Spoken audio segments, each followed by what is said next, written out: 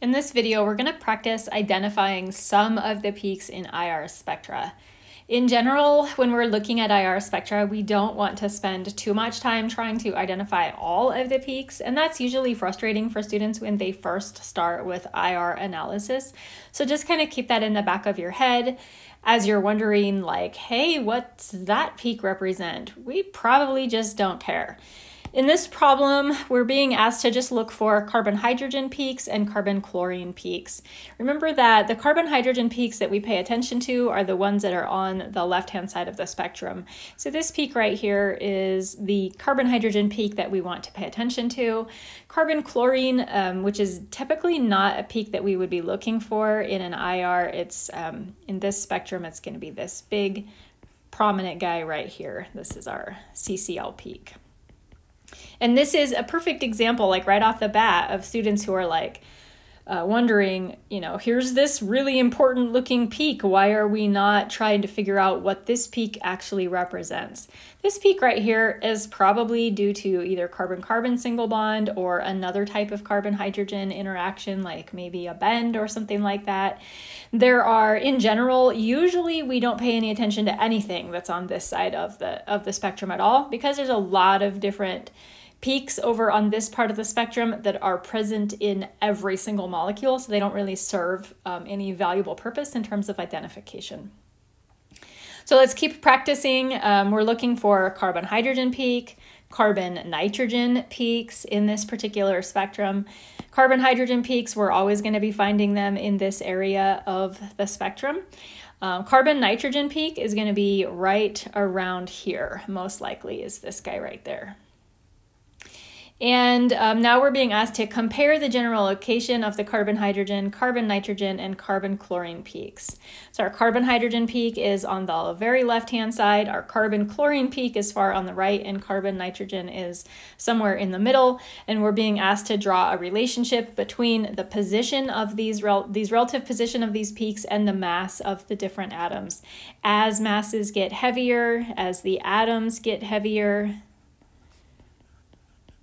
the peaks that um, they generate in the IR show up further to the right.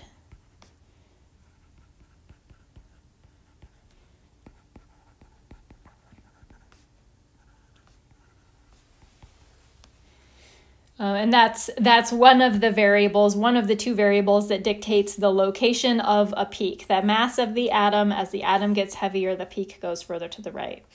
Uh, as atoms in a bond get heavier, how does this affect the strength of the bond? Heavy atoms cause the bond to weaken.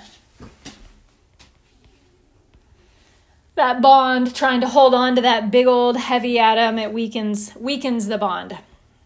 Let's take a look at the other variable that dictates the location of the peak, which is the bond um, single versus double versus triple, the bond order. So in this page, we're looking at pentane, pentene, and pentyne from top to bottom. So this first spectrum here is for pentane.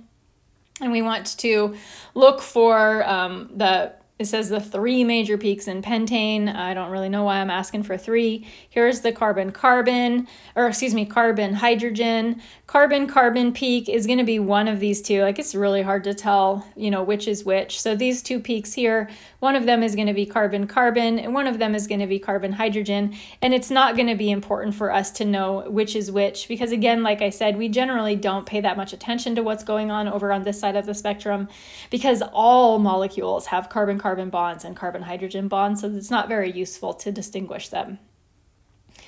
Um, now, the next molecule here, we have pentene. So let me draw um, one pentene specifically. And on this one, all that we're doing is looking for the double bond peak. So we know that this molecule has carbon-hydrogen bonds and we know that they're located right there. And we know that it's got some carbon-carbon and carbon-hydrogen single bonds and they're located, you know, if we match it up perfectly, they're probably right here. So we're looking for, you know, a peak that isn't present in pentane. These peaks um, so these peaks are there, these peaks are kind of there, they're just not as strong. This right here is the peak that is different between these two spectra, this is the peak that is associated with the carbon-carbon double bonds. And in general, double bonds are located in this particular region of the spectrum in this area. Carbon-carbon and carbon-oxygen and carbon-nitrogen double bonds all show up in this spot. And now we are looking at one pentyne. So we're looking at a triple bond, one, two, three, four, five, this guy right here. And again, same thing, we're looking specifically for the triple bond peak. So we know that these are, are the carbon-hydrogen bonds, and we know, uh, well, like all of these right here correspond to the same type of boring carbon-carbon single bonds, carbon-hydrogen bonds. So the unique peak that we can see in this spectrum is this guy right here. This is the carbon-carbon triple bond.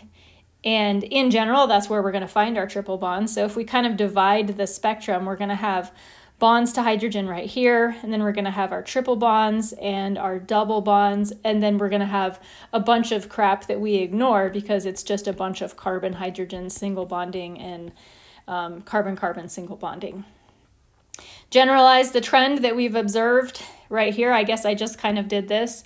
Um, we go carbon hydrogen single bonds in the first leftmost portion of the spectrum, and then we go triple bonds in general. I'm just going to make a triple bond symbol because it doesn't have to be a carbon carbon triple bond. And then we go double bonds, and then we go a bunch of garbage that we're just always going to ignore.